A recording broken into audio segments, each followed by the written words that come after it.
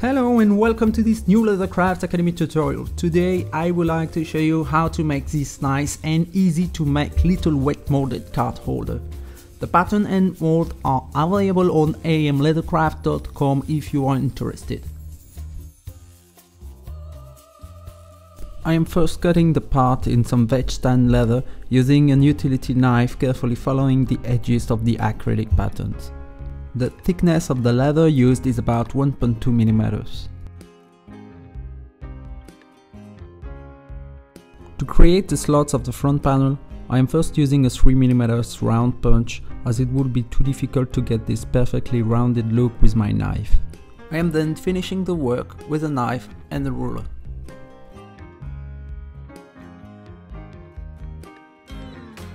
I am now checking how the loop fits in the slot to see whether any adjustment is needed. Using my FN2 Regad iron, I am creasing all the edges. If you are interested in this tool, watch the video I've made about it.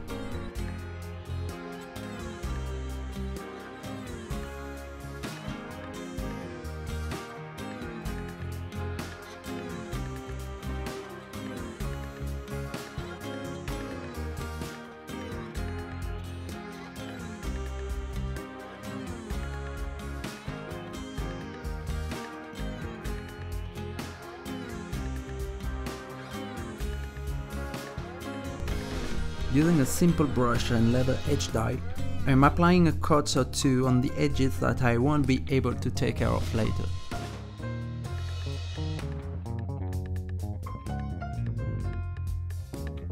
I have slightly humidified the leather to stamp my logo with the help of this simple press.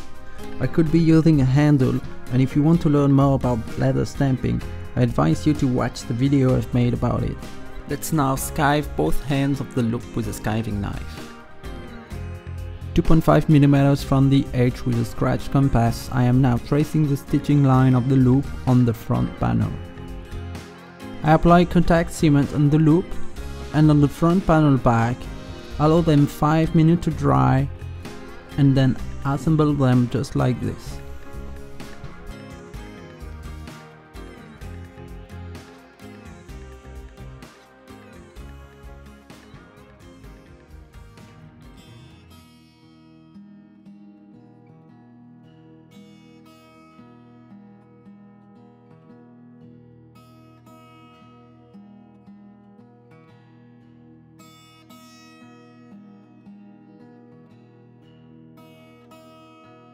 Using a pricking iron number 8, I am punching along the line I have traced, making sure I get the same number of stitches on both sides.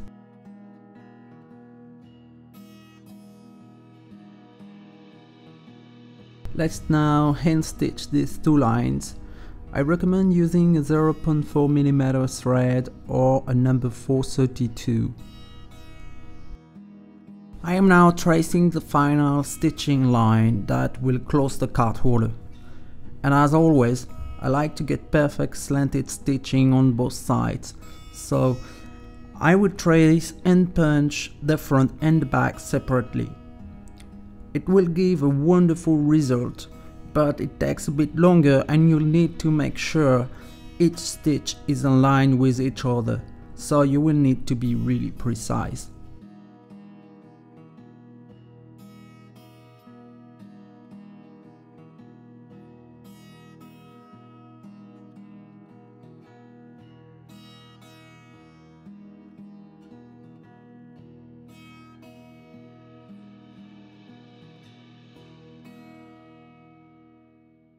As usual, I will apply contact adhesive on both parts to be assembled and allow 5 minutes to dry.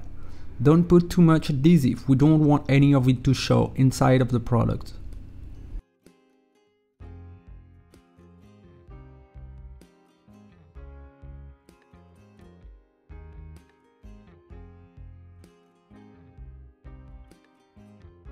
Let's do the final hand stitching line before we get to the exciting part, wet molding.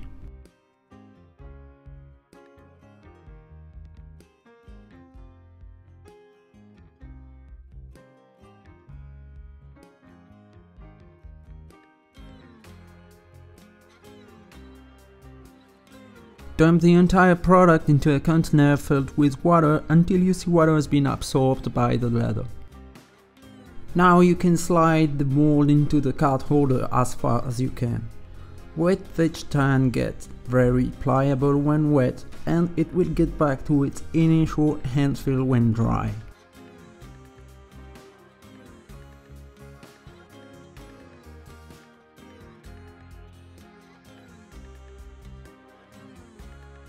Using my bone folder, I'm also willing to give the loop some interesting curve. I'm using this tool as well to break the edges toward the mold.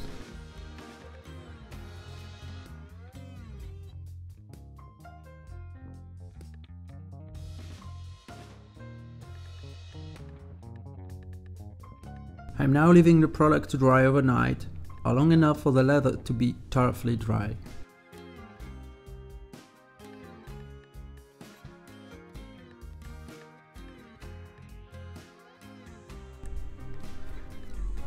About 12 hours later I can take care of the edge finishing. To get a nice finish on your edges, make sure to use a good quality edge dye and alternate coats of dye and buffing until you are pleased with the result. Thank you for watching this video, I hope you liked it and if you did please subscribe to the channel and give us a thumb up. The pattern and mold in this video are available on the website amleathercraft.com. We make all kind of patterns and also custom stamps for leather and wood. Thank you for watching and happy crafting.